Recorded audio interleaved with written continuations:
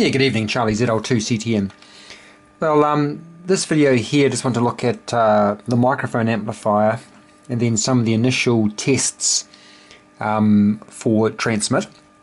So the radio's been uh, a few additions added to it, a bit of a reconfiguration.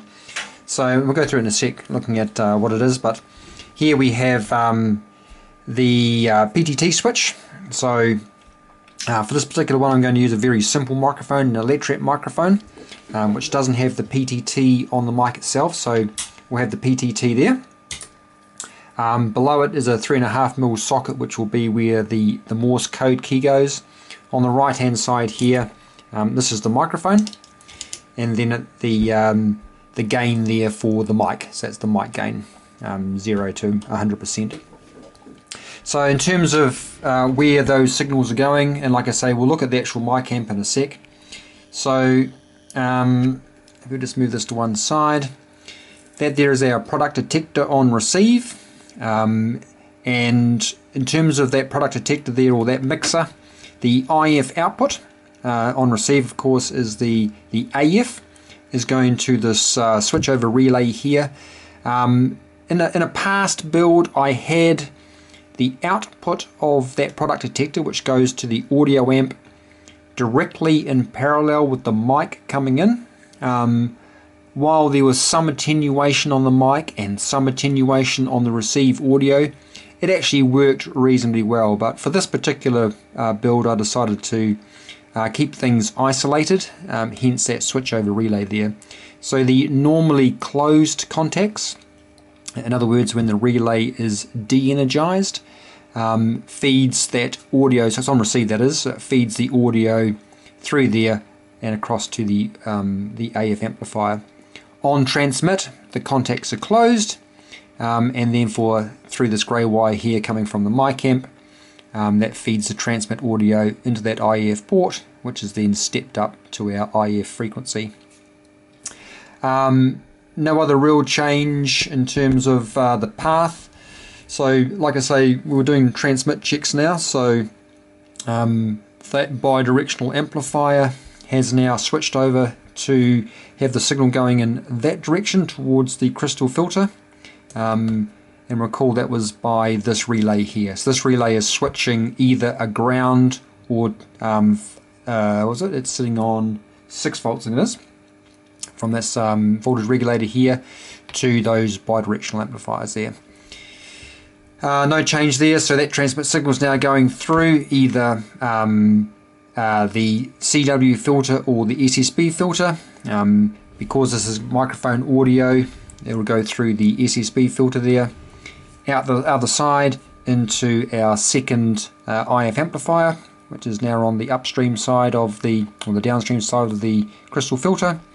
Uh, again, that one's now also switched over, so the signal is now running down into our final mixer where it's stepped up to our desired transmit frequency through the bandpass filter um, and then back through the antenna switching relay and uh, out the antenna.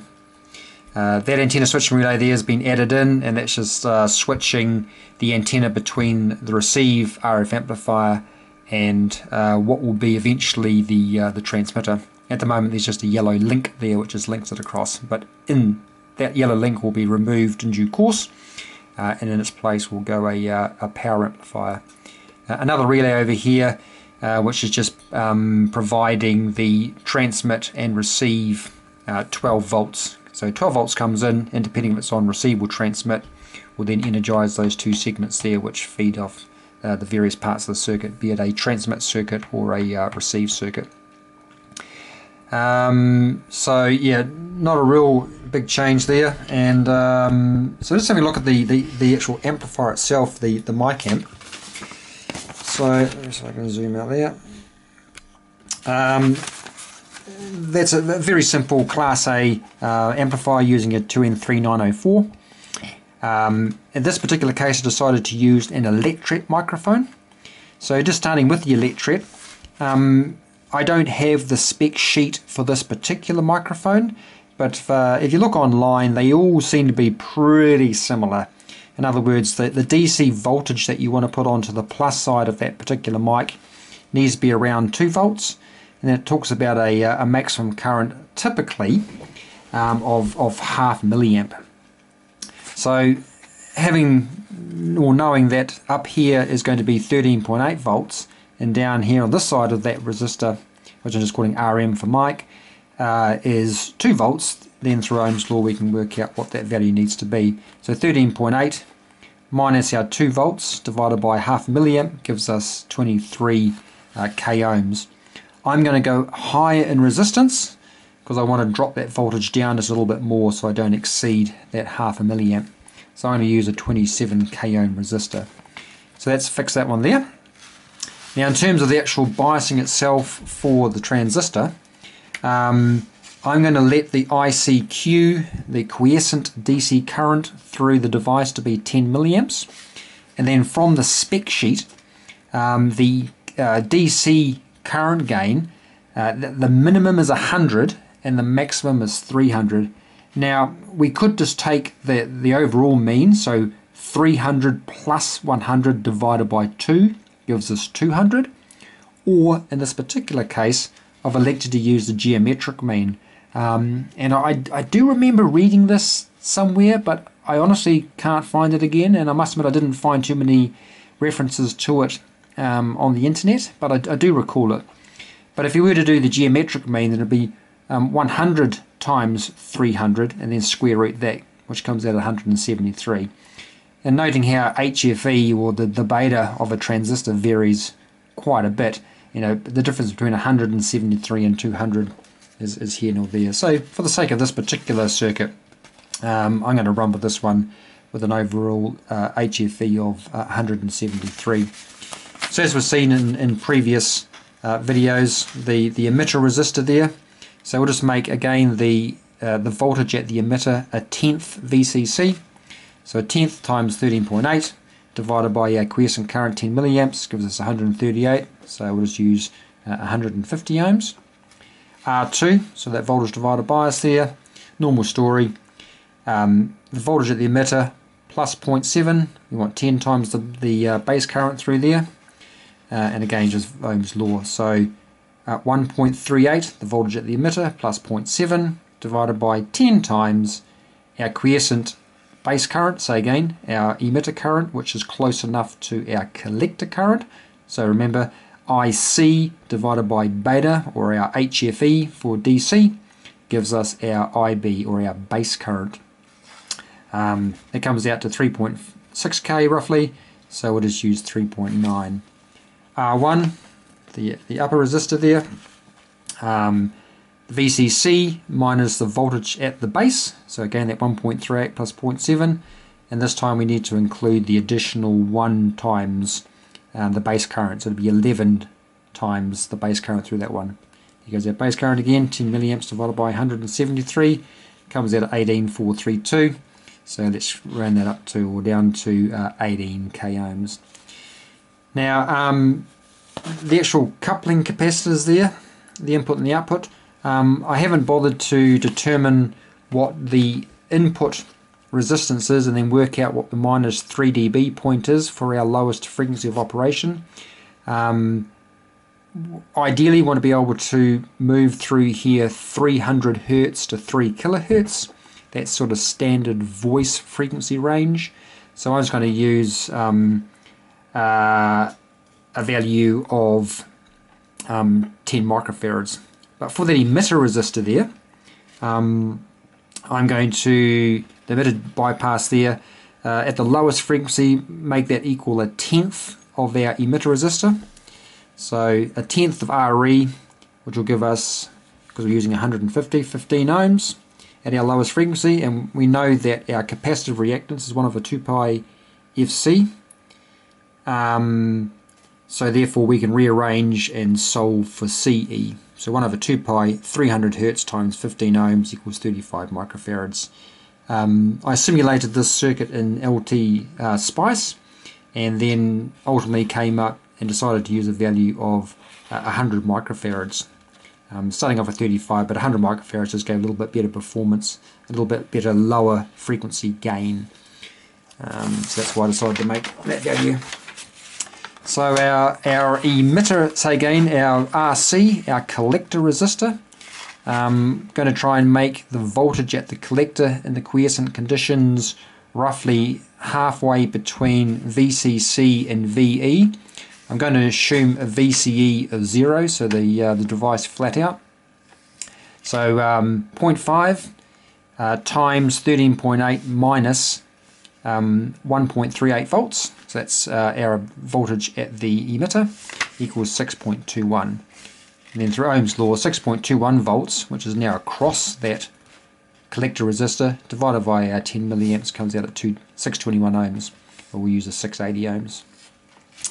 Um, now, in terms of, uh, let's go back to the, the main the main circuit here. Um, what I decided to do, um, the actual the, the, the mixer or the the the, the um, balanced modulator that this voltage is driving, you need very very little to to get that going. So I was quite happy just to stick with quite a large resistor here in series with a 300 ohm, which is what I had available in the junk box, um, a 300 ohm pot to give me the the um, the volume control, which will ultimately turn out to be um, the gain control for the mic amp, which will set then the output power. Um, so what I did is I set up in a test configuration, used my normal voice volume, and then found a value of R that when this pot was at the highest position, in other words, presenting the maximum amount of voltage to the um, balanced modulator that I was getting 100% modulation. So I scoped the output of uh, the second IF amp and then just looked for when I was getting to 100% uh, and not overdriving it. Uh, and that turned out to be 330 k ohms. Um, and that's what we see sitting just there. So the output is coming out that orange wire through a, through a 330 k ohm resistor and then into our 300 ohm um, pot there. So just looking down there, we can zoom up a little bit. Um, if you'll stay in focus. So that's just down there. So um, the input, the orange wire there is the input from the uh, the microphone. Um, there goes our, uh, our resistor there dropping down the 13 volts to provide that um, 2 volts to the microphone for its bias and then the coupling capacitor uh, feeding into the amplifier itself. Um, what else? What else? What else? And then just a standard uh, 100 microfarads and um, 100 nanofarad decoupling across the VCC line. So, um, in terms of uh, how it worked out and sort of initial observations in the low power transmit. Um, so what I've got up here, I've got the SIGGEN set up and it's uh, set up for an audio frequency, so 1.2 k ohms here at the moment um, and that's feeding a speaker which is buried um, in uh, under a couple of towels to try and keep the noise down. So I'm just going to put the, the microphone underneath that, like so, and hopefully that's going to be relatively quiet, and then we can key it up. So we're in a transmit now, um, which is just indicating there. There'll be some logic in there later on to determine if the mode's in CW or SSB and then do some other things but at the moment we're keyed. And then up on our monitor up here we can we can pick that coming up. So uh, that's basically um, coming out of the the bandpass filter uh, and into a dummy load and then this the receiver here is just enough to pick it up. So upper sideband back down to lower sideband and then we can change here our frequency so we're now down to 400 hertz, 200, 100. So ideally you want to be able to shift at least 300 hertz and then up to 1K, 2K, 2.6, 2.7 and just start to drop off there. So that would be a function of both the, the crystal filter clipping the upper frequencies and also this passband here. Uh, its crystal filter has only got a 2.7k um, bandwidth there as well, but either way, uh, certainly getting through um, this portion of the radio here, um, those frequencies, which is good. Um, so initial observations, uh, I am, even though these two mixes here, these two homebrew DBMs, um, were matched as, as well as I possibly could. Uh, I do have to acknowledge that they're never ever going to be as good as, if I can just pull one out of the box, um, as an SBL1. Um, if, if, I recall, the, the diodes rings in here are certainly matched and may even be uh, potentially um, laser trimmed to be spot on. Um, I'm not quite sure if that's the case, but certainly the, the, the, matching of the diodes in that particular device will be significantly better than what I could achieve here.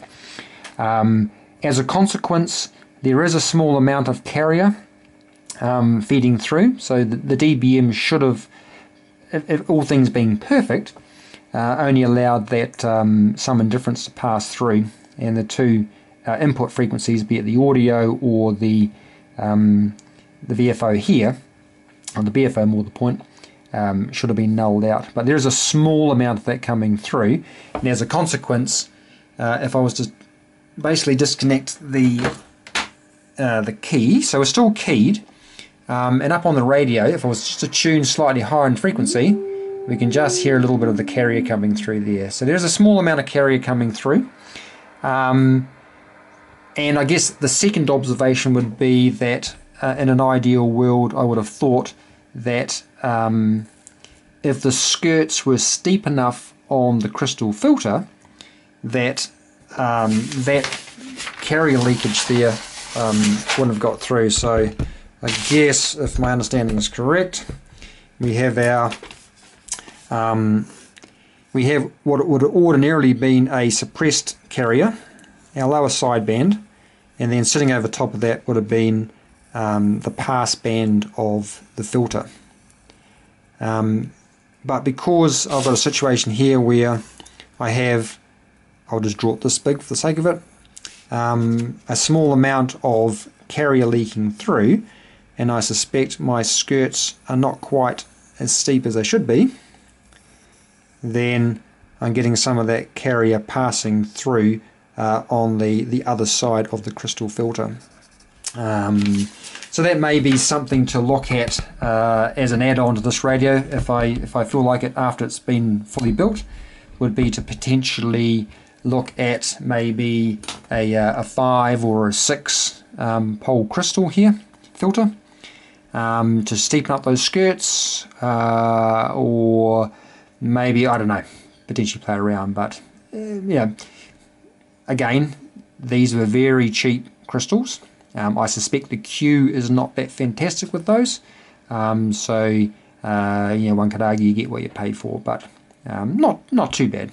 What I did do last night is I uh, I took this particular uh, the balance modulator here out and I played around with using the SBL1 in its place. Uh, interesting enough, um, it did it was better, not significantly better, but better um, but this one here also let, let, through just a very small amount of carrier, um, which was interesting. Uh, I don't know, and, and, and, I must admit, you know, a, a bit ignorant. I'm, I'm, not sure if that's because I'm not using a diplexer after this, and potentially um, there was an impedance mismatch there. Uh, I don't think I'm too far off though, because um, on the IF side, we'll say again, my apologies, on the RF side coming out, that um, that bidirectional amplifier is a 50 ohm input, so the 50 ohms should have been matched through this anyway. But suffice to say, there was a very small amount of carrier also leaking through, and then as I'm, I'm suspecting, uh, the skirts on the on this filter here are not sharp enough to to sit between that carrier and the intelligence, which is 300 hertz away. Um, so say I'd say you know down 40 odd dB that's just sort of sneaking across um, across that carrier and allowing us a little bit to, to sneak through. Um, I don't know how much of an issue that's going to be once the full radio is built up um, and we do some on-air checks. I suspect well there will be you know any any carrier leaking through here um, is ultimately going to be amplified and, and go out. So uh, it's certainly not going to get any better. Uh, but in terms of reception, as we've seen up here, um, it's not impacting the ability to, to, to detect. It's still it's still okay. It's only if you go slightly above that you start to get into problems. Um, but anyway, more than happy to to, take suggestions or or comments or, or whatever. Um, but at the the day, you know, crumbs. This is a uh, and I've and on purpose tried to keep it simple. Um, I'm trying to use readily available parts as opposed to you know some exotic well, not these are ultimately exotic, but you know some more expensive parts like this, and sort of trying to keep things down. Um, and hence the choice here to use a, uh, a very common electret microphone over a, um, a more expensive dynamic style.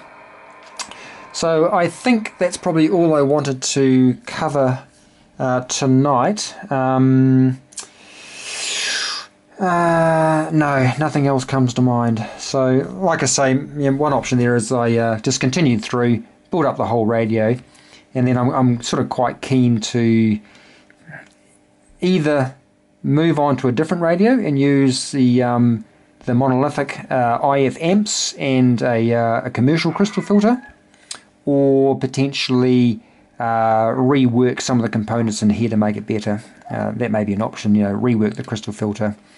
Um, maybe swap out the, um, the, the DBMs here. I don't know. It's just it's all about playing and learning and having fun. So um, I was never going to build a uh, a Flex 6000, whatever them called, replacement. So um, it is what it is.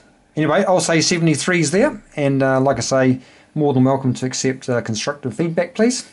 And uh, we'll continue playing around. But next steps, like I say, um, rather than sort of reworking some of this now, would be to to take that link out and then to put some thought into uh, what is going to be the um, the the uh, the power amplifier strip.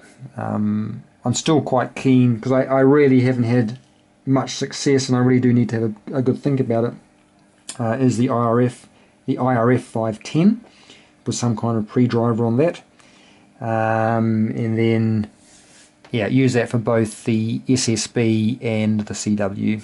Still looking to use uh, that clock one, um, that unused output clock uh, as the CW. So the key will come through here. Um, the Arduino, the Arduino there will sense that that's been keyed. Um, probably not quite sure if I'm going to use the PTT switch or not. Um, but anyway, suffice to say, on key down, uh, clock one will liven up, and then we'll take that output, um, probably filter it to convert it back into a nice sine wave, uh, and then feed that through the linear power amplifier uh, and out we go. So uh, that's the current thinking. Anyway, like I say, I've been rambling way too long, so I'll uh, say 73's here and uh, start putting some thought into the next stage. Okay, cheers all.